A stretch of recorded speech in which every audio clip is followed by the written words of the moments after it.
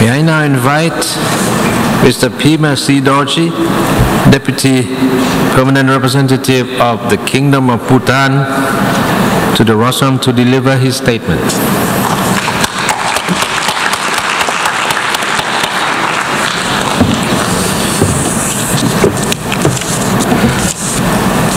Venerable monks, Madam Vice President, distinguished co-chairs, excellencies, distinguished guests.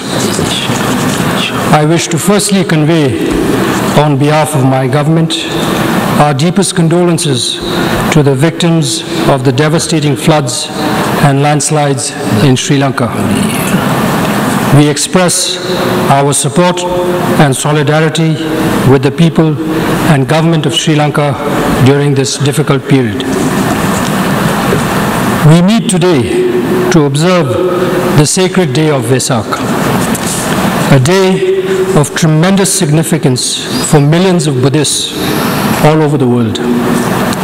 To commemorate the birth, enlightenment, and parinirvana of Lord Buddha, an extraordinary person who discovered a way of achieving true wisdom, compassion, and freedom. Through his own efforts, he attained enlightenment and liberation from suffering. On this auspicious day, I have the honor to convey the warm greetings and good wishes of His Majesty the King, the royal government, and people of Bhutan. I thank His Excellency Ambassador Rohan Perera of Sri Lanka and His Excellency Ambassador Virachai Plasai of Thailand and their staff for so ably organizing this year's Vesak Day celebrations as they have done so in previous years. The significance of Vesak lies with the Buddha and his universal message of peace and compassion for all sentient beings. We may observe the day of Vesak differently in our own traditional ways, but we are bound together by the common aspiration of peace and happiness for all sentient beings. Today, despite rapid modernization and progress, peace and happiness remain elusive in many societies. Indeed, we are reminded every day of the pain and suffering of millions around the world. Overcoming global challenges to peace and happiness requires a fundamental transformation of human consciousness. And therein we find the universality of the Buddha's teachings. The International Day of Vesak provides an opportunity to reflect on the profound and virtuous teachings of Lord Buddha. Timeless teachings that has endured for over 2,500 years.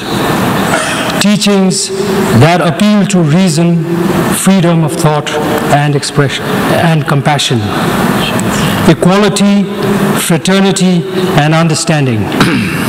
the interdependence of all sentient beings, that the happiness of one depends on that of the other, that peace and contentment can thrive and flourish in a world defined by compassion, nonviolence, goodwill, and love for all sentient beings. These teachings are universal and resonate strongly with the central role of the United Nations. They continue to inspire us to work for the common good.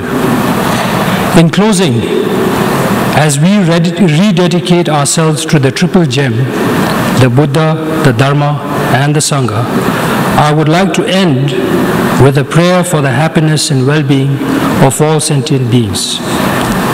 Semche Thamche Dewadang Devi Judang Dempar Jurchi Semche Thamche Dungyeldang Dungyelgi Judang Delwa Jurchi semche thamche dungyel mepi dewa dang nidrel war jurchi. Semche thamche dedugi gi juchak dang nyerin dang delwa tangyom chenpo la yuring du nepar jurchi. May all sentient beings enjoy happiness and the causes of happiness. May they all be free from suffering and the causes of suffering. May they all never be separated from the great happiness devoid of suffering. May they all dwell in the great equanimity that is free from attachment and aversion. Thank you and Tashi Delek.